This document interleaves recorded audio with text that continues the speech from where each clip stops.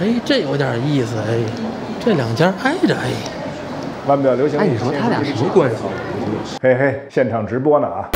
现在我们是在北京国贸格拉苏蒂原创新张开业的专卖店。说到专卖店，必须得有镇店之宝。格拉苏蒂原创的镇店之宝，你想到了什么？你肯定想到了1920陀飞轮。不过遗憾的是，这款表全球限量只有二十五枚，而且不管是在北京国贸还是在 SKP 都已经售罄。如果你真想要的话，排队预定吧。不过别失望，我们在这个店里呢也能找到相当于镇店之宝的两款表。这是集格拉苏蒂最擅长的两种工艺于一。身的款式，从轮廓看啊，这是一个机芯倒装的款式。你们印象里机芯倒装的，它那装饰纹一般不都是日内瓦波纹吗？这个它的夹板上，它用的是基楼纹。一说到基楼啊，大家总想到啊，这是瑞士很多品牌常用的，宝玑等品牌用的这种手艺啊。但是让我惊讶的是，在德国手表格拉苏蒂原创这个新品里，也见到了这种古老基楼工艺，它的两面都使了基楼纹。据说在欧洲掌握基楼技艺大师不超。过十位，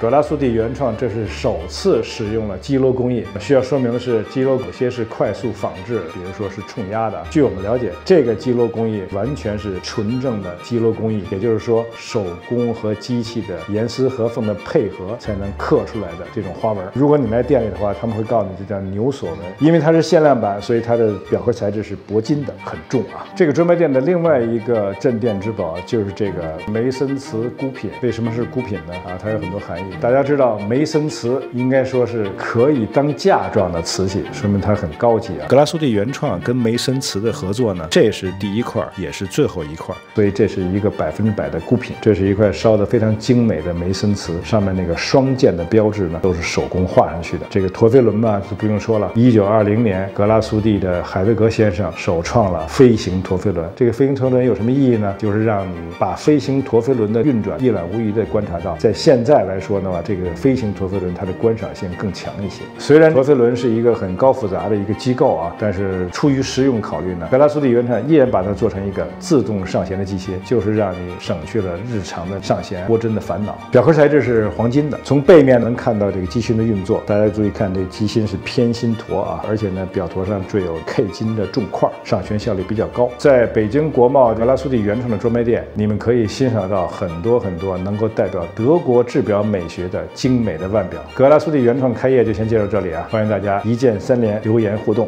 订阅我们的频道，谢谢，再见。